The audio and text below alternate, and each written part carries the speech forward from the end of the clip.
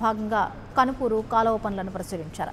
కనుపూరు కాలువ పనుల్లో మంత్రి కాకాని గోవర్ధన్ రెడ్డి అవినీతికి పాల్పడ్డారని టీడీపీ నేత సోమిరెడ్డి చంద్రమోహన్ రెడ్డి విమర్శించారు. ఇరిగేషన్ అధికారితో కలిసి అవినీతికి పాల్పడిన కాకాని పూడికతీత పనులపై పది రోజుల్లో క్లారిటీ ఇవ్వాలని కోరారు. ఒకవేళ క్లారిటీ ఇవ్వకపోతే ఇరిగేషన్ కార్యాలయం ముట్టడిస్తామని హెచ్చరించారు.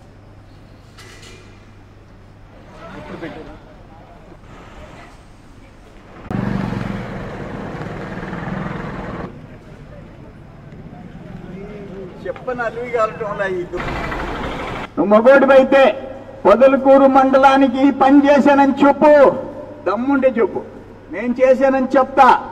నాకు దమ్ముంది. నేను చెప్తా. నేను ఓడిపోయినా గెలిచినా జనం కోసం బతుకుతా.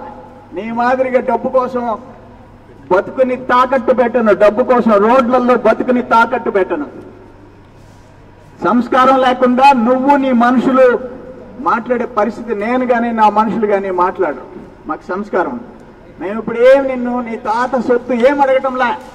నువ్వు నిజంగా మంత్రి అయితే దమ్ముంటే నేమ్ ఆఫ్ వర్క్ ఇదిగో ఇరువురులో ఈ పని ఈ పని పేరు ఈ పని విలువ చేసిన చెల్లించిన మొత్తం అక్కడ పొదలకూరులో అక్కడ ముతుకూరులో అక్కడ మనబోల్లో ఇక్కడ తోటపల్లి వెంకటాచలంలో ఏ ఏ పనులు చేయించావో లిస్టు రిలీజ్ చేయి.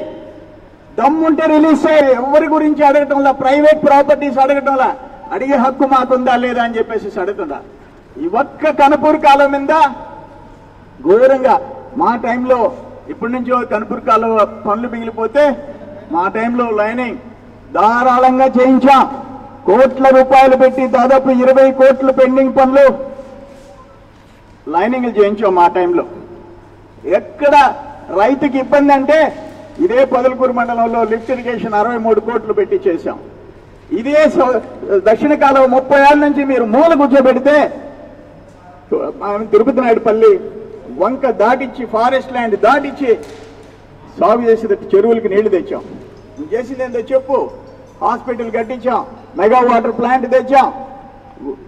ఇరిగేషన్ ఏషియన్ బ్యాంక్ ఫండ్స్తో చెరువులు చెక్ డ్యామ్స్ శాంక్షన్ చేయించాం. రోడ్లు తెచ్చాం.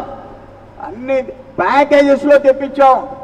External I'd ఫండ్స్తో తెప్పించాం ప్యాకేజీల్లో తెప్పించాం. అదే రోడ్డును వేయించుకోవాలి ఈ రోజు. అది త్రీ ఇయర్స్ ప్రోగ్రామ్లో తెచ్చాం. వారం పది రోజులు టైం ఇస్తాం.